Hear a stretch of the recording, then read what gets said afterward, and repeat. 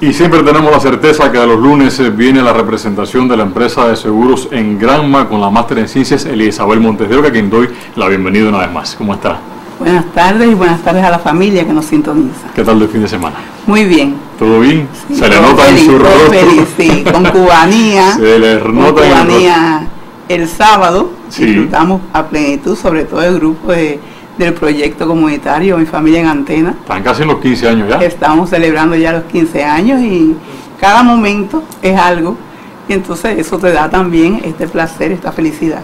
Además de la lluvia que nos refresca en medio de tanto calor y un buen mango para las tardes, ¿verdad? Ah, muy bien. Más de uno, más de uno. Así es. Bueno, Elia, hoy vamos a hablar de un tema bastante trascendente dentro del seguro y es los beneficiarios del seguro de vida, que quizás a veces en casa decimos, bueno, y ahora si yo, si me ocurre algo, ¿quién recibe este, esta póliza por la cual yo he estado pagando durante algún tiempo?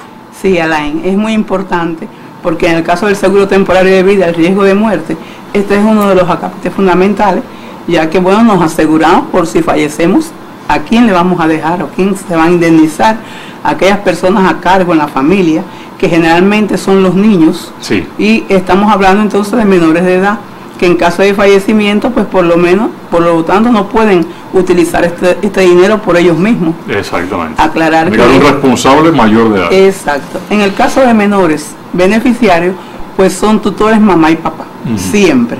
En las condiciones que estemos. Podemos estar casados, podemos estar divorciados, podemos haber terminado muy mal la relación, pero siguen siendo tutores de estos menores. La responsabilidad parental, como Por tanto, código de por tanto, en caso de fallecimiento va a ser a esa persona a quien el seguro va a destinar.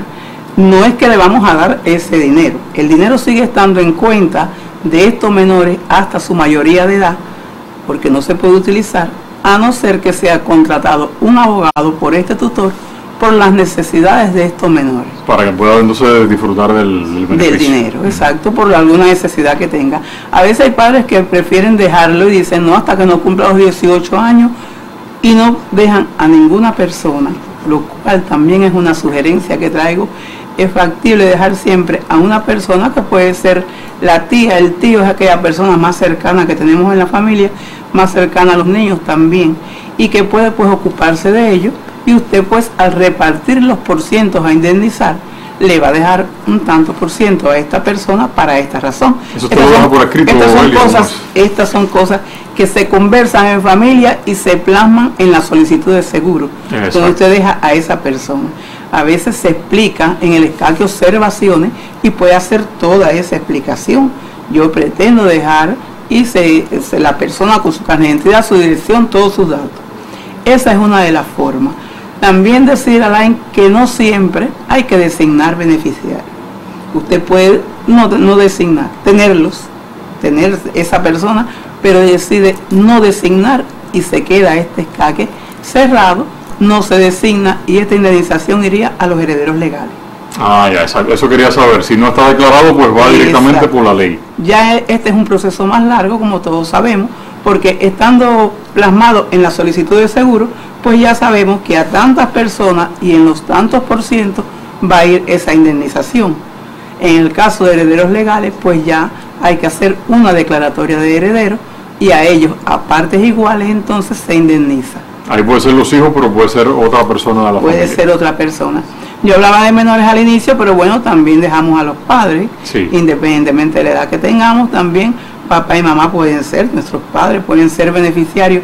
¿Y cuántas personas usted Un estima? hermano, un primo, quien usted No, considere. exacto, no tiene por qué ser siempre familia.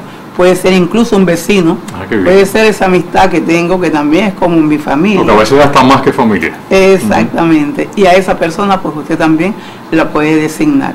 Este es algo, es un proceso muy importante y que le va a permitir a la aseguradora, pues, terminar este proceso ya cuando hay que indemnizar, pues de forma satisfactoria. No dejar de poner los carnets de identidad de estas personas, no dejar de poner sus nombres correctamente, ¿eh? ¿Cómo está en Para su que no haya problemas a la hora de la verdad. Exacto.